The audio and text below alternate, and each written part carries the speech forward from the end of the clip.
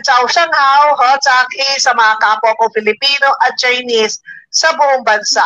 Ako pa rin ang iyong agarang serbisyo lady, Dr. Hilda O, na naghatid ng tamang impormasyon at tamang serbisyo. Tayo ay napapakinggan sa DWBL 1242 AM band at maging sa online viewing sa Facebook at sa YouTube. Hanapin lamang ang DWBL live streaming at sa Hilda Ong Agaran Serbisyo Lady. Maaari nyo mabalikan na ating mabasa episode sa TV, Radio Hilda O, FB account. Ngayon ay May 31st, 2023, araw ng Merkules, na siyang huling araw sa buwan na ito. Narito muna ang balitang SSS. BPI Wealth mamamahala sa 2.5 billion pesos na investment fund ng SSS. Matapos ang masusing proseso sa BPI Wealth na siyang Asset and Wealth Management Arm ng Bank of the Philippine Islands, ipinakatiwala ng SSS o Social Security System na pamahalaan ang 2.5 billion pesos na investment funds nito. Ayon sa BPI Wealth, nagpapakita ito ng bagatmat na sa mapaghamon panahon ang ekonomiya sa kasalukuyan, nakita ang pamunuan ng SSS ang kanilang kapasidad para makapagbigay ng target returns, superior service at export advice. Buong-buo naman ang pagtitiwala ng SSS sa kakayahan at kapasidad ng BPI Wealth na mamamahala sa malaking investment fund na mula sa hulog at impok ng mga miyembro. Naging basehan umano ang hindi matatawaran track record of success nito. Nitong lamang April uh, 2023, nakuha din ng Security Bank Corporation para mamamahala sa 2.5 billion pesos ng SSS investment funds. Sa Batala, pwede na rin ang online application para sa mga disability benefits ayon sa SSS bilang pagsunod sa itinatana ng Republic Act number 11032 o ang Ease of Doing Business and Efficient Government Services Delivery Act na naging batas noong taon 2018. Pa, para pag-usapan natin ito ngayong araw kasama natin ang SSS at babalad tayo makakasama natin ngayong umaga si Mr. Cardo C. Villacorta, Acting Vice President for Public Affairs and Special Events Division. Magandang umaga po, Sir Cardo.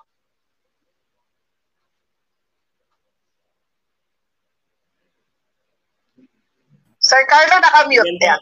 Magandang umaga, Dr. Ong. Uh, it's good to see you again po. Uh, magandang umaga po sa lahat ng tagapanood ng inyong programa at lahat din po ng nakikinig po.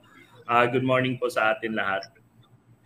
Yes po, para sa kaalaman ng publiko, particular ng mga miyembro ng SSS, ano ba itong SSS Investment Fund ng ating uh, ng, uh, ibinalita ko kanina? Yes, ang uh, ah, SSS po ay hindi nagmamay-ari ng uh, lahat ng kaalaman at galing sa pag-i-invest po ng uh, kaperahan ng mga miyembro. Batid po ng SSS na pati ang ating mga uh, nasa fund management industry ay may angking talino at galing sa pag-i-invest po ng pera. Kaya po natin sila tinatap tayo po uh-huh. ay mag, magbabahagi sa kanila ng uh, pondo para po magpakitang gilas sa pag-aalaga ng pondo ng SSS at sana po ay mayroon din pong uh, magandang kita sa pondong i- i- ibinigay po sa kanila. So ito po ay mandato para sa BPI na alagaan na maigi ang pondo ng SSS at patubuin po sana at uh, magkakaroon po ng sukatan uh, siguro every year po kung kamusta po ang performance ng BPI sa pag uh, aasikaso at sa pag-i-invest ng pondong uh, ipinagkatiwala sa kanila ng SSS pagkatapos ng mahabang proseso ng bidding. Uh, tayo po ay mahigpit na sumunod sa proseso ng bidding para po uh, matiyak na ang mga mag uh, hahawak ng pondo at mag-i-invest ng pondo na SSS ay may angking galing at talino hindi lang yung kanilang opisina, pat pati ng mga individual na uh, didiskarte po kung ano po ang pinakamaigi sa pondong ipina pinagkatiwala sa kanila po, uh, Doktora. So 2.5 billion po, tama po ang uh, ipinagkatiwala ng SSS sa BPI para po kanilang uh, uh, alagaan at patubuin at uh, tingnan po natin. Ang uh, mandatong iyan ay may advantages din po sa SSS. Tayo po ay matututo din sa kanilang estilo ng pag-invest uh, pera para din po malaman natin kung may mga angking galing at talino na pwede din nating i-apply sa internal fund managers po ng SSS, Doktora. So far po, ano ang nagiging resulta o napapala ng SSS, lalo na sa mga miyembro, uh, dito sa mga investment funds na uh, uh, kumbaga ginagawa ng SSS? Opo. Uh, itong pong pag-i-invest ng SSS sa iba't ibang uh, investment instrument ay nakakagawa uh, po ng investment income naka, na uh-huh. nakakapagdagdag po sa pondo ng SSS. So sabihin na lamang po natin na ang uh, lahat ng collection ng mga ng SSS na galing sa mga miyembro hindi naman lahat yan ay ginagamit agad sa pambayad ng benepisyo. Uh, mayroon din pwedeng i-invest at kung ito mm-hmm. po ay napapatubo, mas nagiging malusog ang uh, pondo ng SSS at uh, mas makakabayad pa po ng mas mahabang panahon ng mga benepisyo pagdating po ng oras ng bayaran. Mm-mm. So paano pinipili ng SSS ang uh, mga kumpanya na paglalaanan nito ng investment fund? Opo, gaya po ng sabi ko kanina, through procurement process po yan, bidding ayon sa Republic Act 91. Uh-huh. So may anunsyo po tayong nilalagay sa dyaryo, sa website po ng SSS, na ang SSS po ay naghahanap ng local fund managers.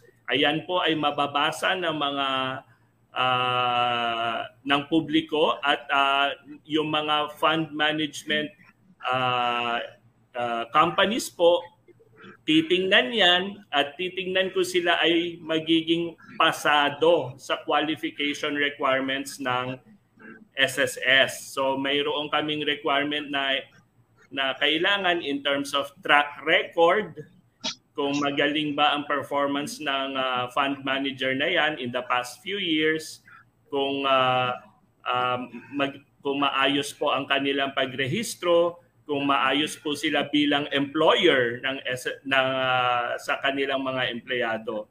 So mahigpit po ang mga requirements ng ating batas sa pag-procure ng mga goods and services at kasama po diyan ang pag pag-hire uh, ng local fund manager, Doktora. Mahigpit na proseso po yan. Ha? Marami pong uh, requirements na dokumento at kaya kapag uh, nakakapanalo ng mandato ang isang BPI uh, na grupo ay talagang uh, kailangan nilang pag-igihin ang kanilang uh, pag-aasikaso ng pondo para lalong tumubo ang pondo na SSS po. Kung uh, maayos performance, yes. maaari pong uh, ma-consider sila in the future to manage funds of SSS. Kung hindi po, ay uh, ititigil po ang mandato sa kanila. Ganun po yon na, Doktora. Ito po ba ay long-term investment o short-term lamang? Opo. Uh, ang mandato po na iginawad sa BPI ay pang tatlong taon So, uh, titingnan po natin ang kanilang performance after three years sa pag invest ng mga uh, pon- ng pondo ng SSS. So, kung three years, parang medium term ho siguro yon doktora. Hmm. So hanggang magkano ang pwede ilaan lamang ng SSS para sa investment funds? Kasi base sa balita kanina, uh, nakita ko po eh 2.5 billion sa eh, sa BPI and then 2.5 billion naman dito sa, sa Security Bank. Opo. So uh, tayo po ay uh, uh, nag uh, nagtumitingin sa iba't ibang fund management companies. Sa ngayon po, uh, mga 5 to 6 billion pesos po ang uh, inilabas ng SSS para sa mga fund managers na yan. Titingnan po uh-huh. natin kung kamusta ang performance ng mga fund managers na yan. Ang mga fund managers na yan, pag nagpe-present po ng kanilang performance, laging magaganda at magagaling. Ito po, ngayon pong naibigay na sa kanila ang pondo, ito na po ang tunay na sukatan kung malalaman natin na mapapa uh, kita nila talaga ang pondo na ipinagkatiwala sa kanila na SSS sa ngalan ng mga miyembro ng SSS. Ito po ay aming uh, masusing susu, uh, susubaybayan uh, para po maalagaan ang pondo ng SSS. Kung uh, hindi po kung nawalan po ng kumpiyansa ang SSS at any point in time, pwede din naman po namin bawiin ang pondong i, uh, pinagkatiwala sa mga fund managers, uh, Doktora. So, uh, ibig sabihin, ito mga kinikita ng SSS sa pamamagitan ng investment funds, ito ay uh, ginagamit ng SSS para may magamit na karagdagan, benepisyo para sa ating mga miyembro. Aside from yung sa monthly contribution, so ito mga investment na mga interest for sure, ito ang nakakatulong sa mga benepisyo na may bibigay natin sa mga miyembro natin. Co- correct po, uh, Doktora. Uh, kilalang kilala nyo na po, Doktora, ang programa ng SSS. Siyempre po, mm-hmm. kailangan ang pasok ng pera ay kapareho o mas mahigit pa dapat sa paglabas ng pera para tuloy-tuloy lamang po ang maayos na operasyon ng SSS. Dahil 65 years old na po ang SSS, Uh-uh. Marami na rin po ang mga pensioners ng SSS. Kaya po kailangan uh, uh, masigasig at uh, uh, matyaga ang pagbabantay sa pondo ng SSS na ito ay ma-preserve at sana ay mapakita uh-huh. ng malaki base sa pag-i-invest sa iba't ibang klaseng uh, investment instrument po, Doktora. So yes, nakakatulong ng malaki ang investment income para naman po hindi natin kailangan galawin masyado yung contribution rate para po making steady na po ang ating contribution sa mga miyembro po, uh, Doktora. Eh Sir Carlo, ano ang uh, ano opinion mo sa nakikita natin ngayon? Kasi dati sa panahon before, 'di ba, maraming mga anak. So ibig sabihin, maraming contributor. Pero sa panahon ngayon, nakikita natin ang mga kabataan ngayon, mga puro mga late na nag-asawa. Kadalasan mga uh, ah, 30, almost 40, saka gusto lang mag-asawa. And then kung mag-asawa man sila, either isa o pinakamarami dalawang anak na.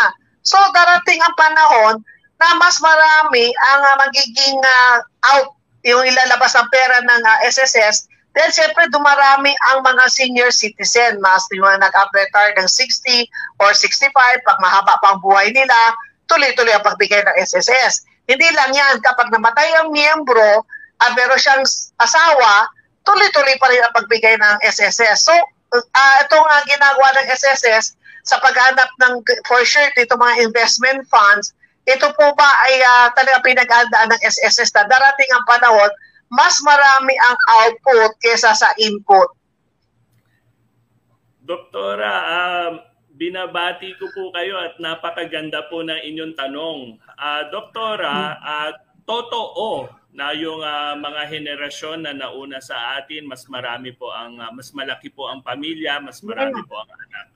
Uh, kaya marami nga po yung contributors. Pero sa generation ngayon, yung mga pamilya ay mas maliit in terms of size. Uh, kaya po, inaaral ng SSS mm-hmm. mabuti yan ang amin pong actuarial and risk management group ay lagi pong nagsasagawa ng actuarial valuation para po matansya kung ano po ang tamang o akmang contribution rate para po sa SSS nung uh, mga unang uh, dekada ng SSS, hindi naman po nag-impose ng mataas na contribution rate ang SSS uh-huh. dahil maaga pa nga po. Naguhulog pa lang ang mga miyembro, wala pa masyadong pensioner.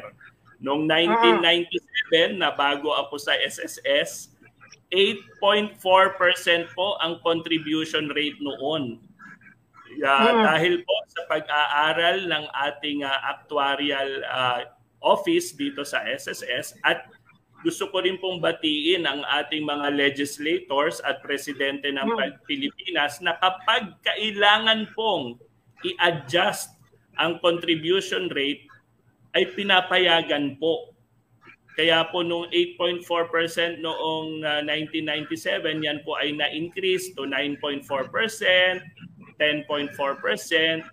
at ngayon po ay nasa 14% na nga po. Medyo may mga nagsasabing mataas na po ito pero ito po ay uh, sumasabay lamang sa panahon. Kasi uh-huh. nga po kamakaunti ang uh, uh, mga workers at dumadami uh-huh. o humaba ang buhay ng mga senior citizen. So, ang 14% na contribution rate ay uh, i-adjust pa namin muli pagdating ng 2025 para maging 15% po, Doktora. Oh. Ayan po ay nasa batas na. Ang wari ko po, ang opinion ko po, Doktora, at 15% contribution rate, medyo steady na po ang kalusugan ng SSS at hindi na siguro mga ngailangan ng contribution rate increase ng ilang taon. So, at 15% kahit hindi po malaki ang size ng mga pamilya, uh, ako po ay umaasa na magiging stable na po ang financing ng SSS program at 15% doktora.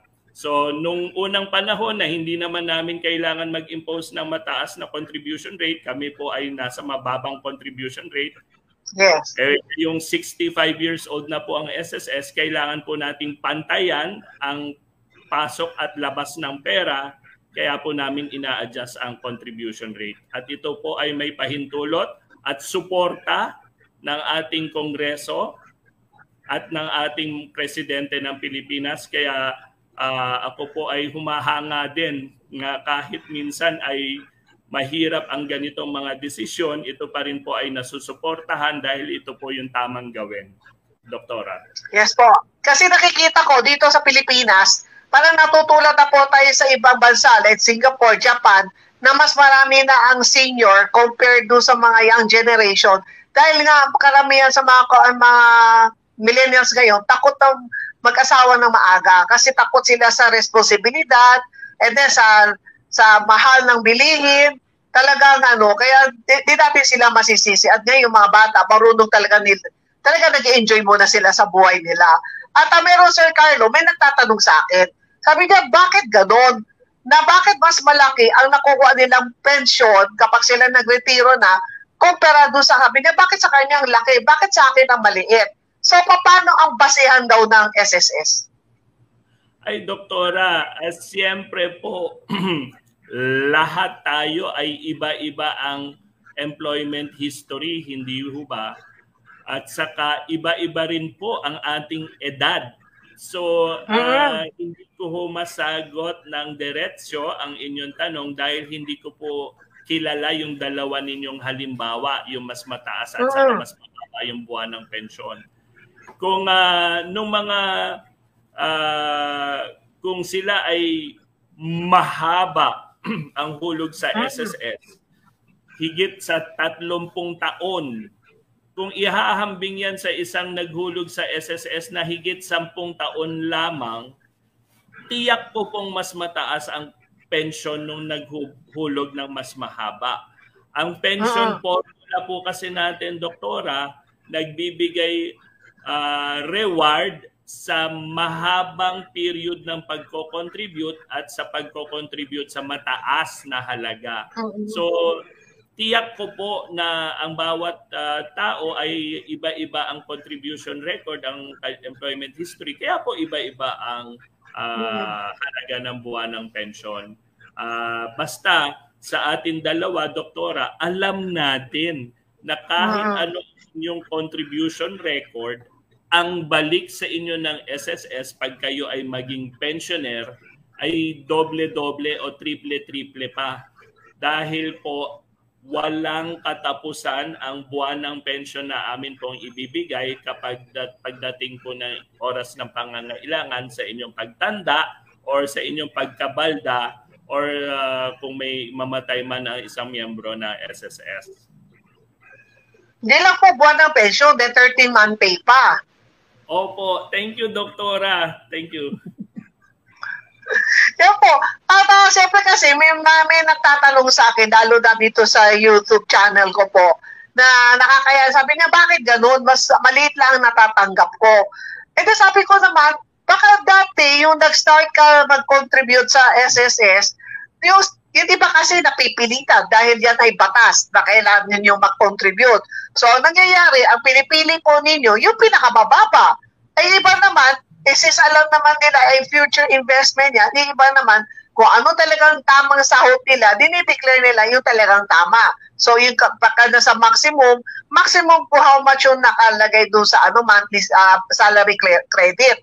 So, kung sa, sa haba ng panahon at puro na sa maximum sila, natural kapag sila nag-retire, lalo na kapag uh, uh, at the age of 60, hindi pa rin siya nagre-retire, continue pay pa rin siya na umabot siya ng 65, natural, mas malaki ang na kanyang nakukuha kumpara sa inyo na mababa na yung kinocontribute at at the age of 60, gusto mo na kagad kunin. Eh natural, mas maliit. Yan ang explanation ko. Tama po ba, Sir Carlo?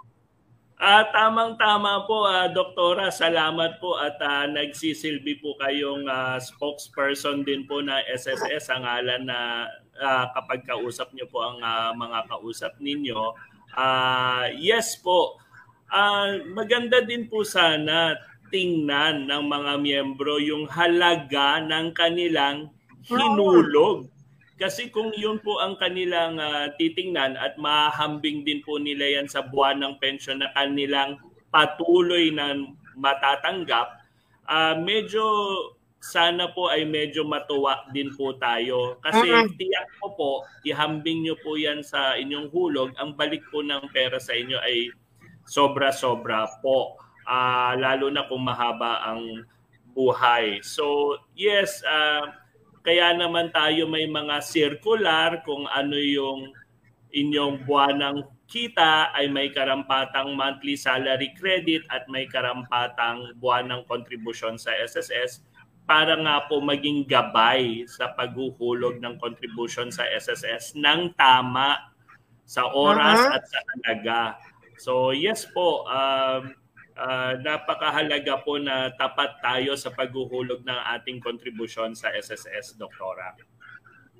At uh, para sa muli sa kaalaman ng publiko, ano naman ito nga disability benefits na makukuha mula sa SSS? Ay, Doktora, ito po ay uh, ang ibig po namin sabihin diyan sa aming announcement ay mm-hmm. online na rin po ang pagpa-file ng disability uh, benefit sa SSS. Ito po ang huling benepisyo na nailagay namin online at nang nai-online po namin yan, Doktora, lahat uh-huh. na po ng benepisyo ng SSS ay maaari na pong online, uh, ma-apply online. Ibig sabihin, may pag-asa pong hindi na kayo aalis ng bahay sa pagkiklaim uh-huh. ng disability benefit at gayon din ang iba pang mga benepisyo o loan program ng SSS. Um, medyo pinagyayabang ng SSS mm-hmm. ang online filing ng disability dahil nung na-implement namin yan, uh, proud na po kaming sabihin na lahat na po ng uh, benefit claims ay nasa online mm. platform.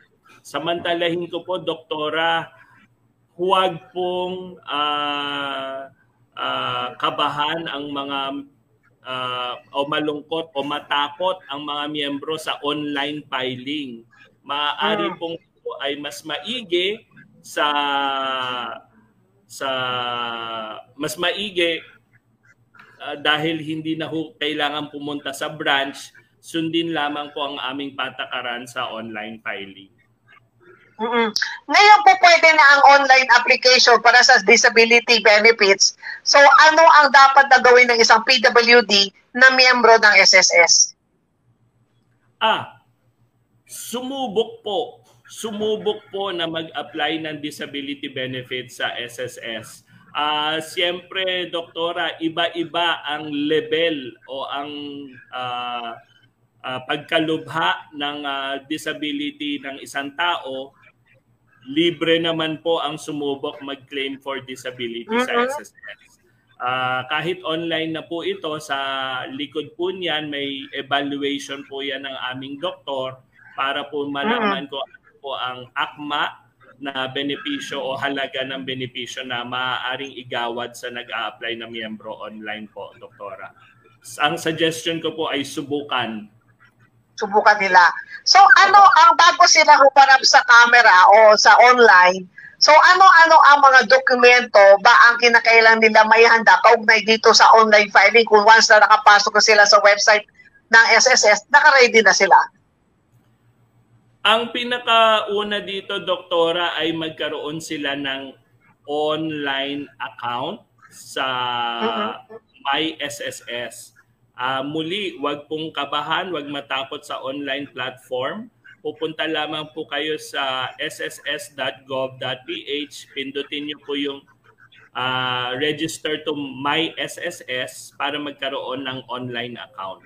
Kapag kayo po may online account na po, pumunta po lamang sa menu na benefits, tapos doon hmm. po ay makaka-apply na po kayo for disability benefit medyo may mga reglamento lang po kami, may patakaran lang kami at mga procedure na susundin, pero unti-untiin lamang po ng ating mga miyembro ang pag-comply sa bawat step na makikita sa aming online platform. Uh, dahil hindi naman mahaba ang oras natin, Doktora, pasyalan lamang po ang social media accounts ng SSS para uh-huh. po matutunan maghanap doon kung paano mag-apply online ng disability benefit. Ang uh, karaniwang halaga ng disability pension na amin pong ibinabayad ay mga 4,500 pesos kada buwan, doktora. Hmm. Ang pinakamababa po ay 2,000 pesos kada buwan. Ang pinakamataas naman po ay 18,000 pesos kada buwan. Depende po kasi talaga sa contribution record ng mga nagpupulong.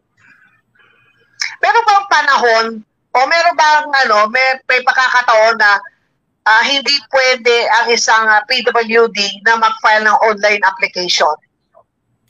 Ah, andiyan pa rin po doktora ang ating mga branches para po uh, tumanggap ng mga in-person applications for disability uh, uh-huh. benefit at uh, magagabayan po sila ng aming member service representative kahit po sa aming mga online platforms po.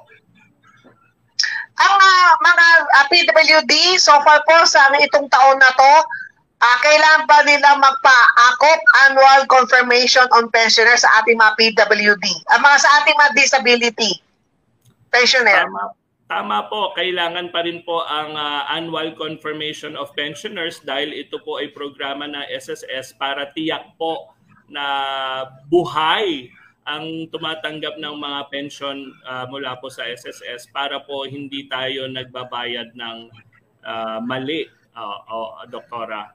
Uh, pa- paumanhin kung ito po ay abala para sa ilan, pero pwede na rin po ito i-apply uh, online, may mga submission po ito via email. So may mga options po na hindi po masyado makakaabot sa miyembro po. At ang huling katanungan, kasi nakikita ko ma- mukhang marami ka nang naghihintay sa iyo dyan sa harapan mo. Sir, sir, sige to hindi, ito, hindi ko kaya sagutin.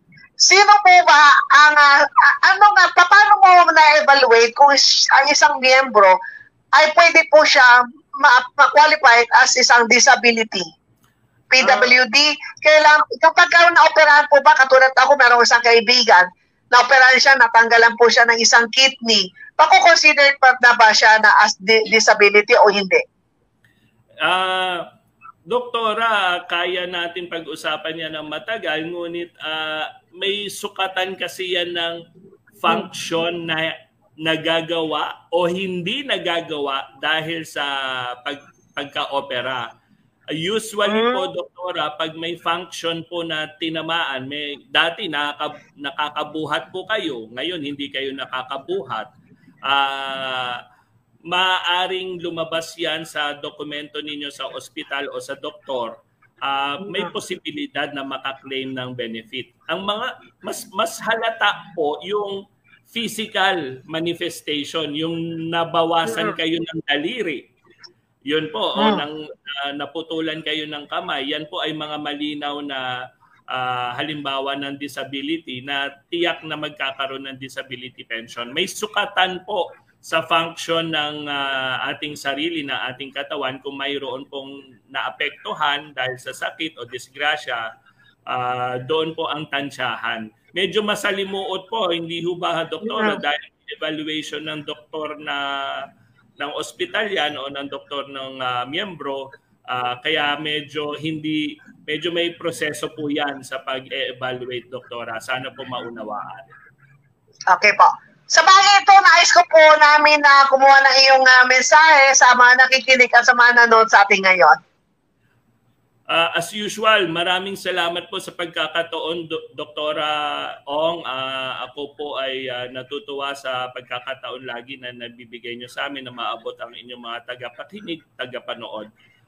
Uh, sana po uh, wag po kayong madala sa aming mga online na platforms. Ang online platforms po ay alay po ng SSS sa mga miyembro para mas maabot namin kayo nang hindi kayo masyado naabala kahit weekend nyo na lamang po asikasuhin ang pagpa-file sa SSS, pwede po uh, pahingi po ng puhunan sa oras at tiyega na alamin at unawain na aming proseso sa online platforms para po sa inyo din po yan at para po wala uh, tama po ang binabayaran ng benepisyo ng SSS. Uh, sana po kung kayo ay may kaunting napulot dito sa ating programa, Doktora Ong, pakikwento po sana sa inyong mga kaibigan o kamag-anak para dumating po ang panahon na lahat ng senior citizen dito sa Pilipinas ay may buwan ng pension po mula po sa SSS. Magtulungan po tayo. Maraming salamat, Doktora. Maraming maraming salamat po, uh, Sir Carlo, sa oras na ibinigay po ninyo dito sa programang Health and Travel at Serbisyo Publiko. Muli, ang nakasama natin ay si Carlo C. Villacoita, Acting Vice President for Public Affairs and Special Events Division mula sa SSS. Kung meron po kayong mga katanungan o gusto na i-linawin ng mga bagay-bagay, huwag kayo mag-atubili, magpadala ng mensahe sa ating mga social media account at asahan po ninyo na ipaparating namin ito sa SSS. Ito ay bahagi ng ating pagbibigay ng serbisyo publiko at sa hangarin ng SSS na kayo ay mapaglingkuran dahil naniniwala ang SSS na dapat bawat isa sa atin ay protektado. Makita-kita muli tayo sa susunod na Martes, June 6, 2023 para sa isa na naman makabulang usapan SSS. Samantala, ang oras sa buong kapuluan ng Pilipinas ay ganap ng 9.08 uh, 9.08 ng umaga, Kauteng Kompwe Hunsaki. Sa pagbabalik ng health and travel at serbisyo publiko, Pasadaan natin ang mga headlines na mga mahalagang balita dapat ninyong malaman ngayong araw na ito, araw ng Martes. Balik muna tayo sa DWBL Studio.